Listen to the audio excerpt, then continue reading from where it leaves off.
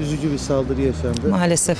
Bununla ilgili neler söylemek istersiniz? Evet e, maalesef e, dün gece saat 24 sularında e, şu anda içinde bulunduğumuz Adalet Meydanı'nda bulunan adalet heykelimiz arkada da e, görünüyor. E, saldırıya uğradı, kundaklandı aslında deyim yerindeyse yakıldı.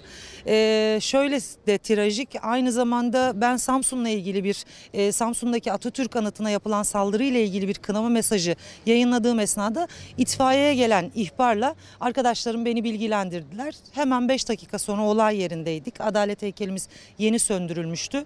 E, emniyet müdürlüğümüz ve emniyet e, mensuplarımızla dirsek temasındayız. Şu anda iki gözaltı var. Üçüncü bir şüpheliden de bahsediliyor. Tabii ki e, biz de Uzunköprü Belediyesi olarak bu sabah itibariyle e, Cumhuriyet Başsavcılığına suç duyurusunda bulunduk. Bir an önce faillerin e, açığa çıkmasını istiyoruz.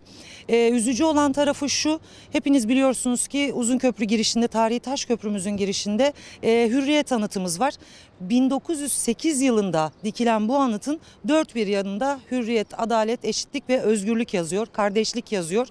Daha 1908 yılında e, bu adalet duygusunu, özgürlük duygusunu içselleştirmiş olan uzun köprülere karşı e, bu menfur saldırıyı kınamamak elde değil. Bugün geldiğimiz noktada yıl 2022 ve adalet heykeli yanıyor. Gerçekten kaygılanmamak mümkün değil. Bir an önce sorumluların yargılanmasını ve cezalandırılmasını istiyoruz. Şüphelilerin isimleri falan daha belli değil. Belli değil, evet belli değil. Akşam Siz buradaydınız, Evet. nöbetteydiniz. Evet. Evet nöbetteydik. Ee, Birçok vatandaşımız da e, bize refakat ettiler. Biz aynı zamanda e, aşağıda Cumhuriyet Meydanı'ndaki Atatürk heykelinde de nöbet tuttuk. Ee, Az önce söylediğim gibi Samsun'da yapılan saldırı ve aynı gün içerisinde akşam saatlerinde Adalet Anıtımıza yapılan saldırı elbette ki bizi son derece kaygılandırdı. Ee, Ve nöbete devam edeceğiz elbette ki. Rica ederim. tadilatıyla ilgili bir şey ama.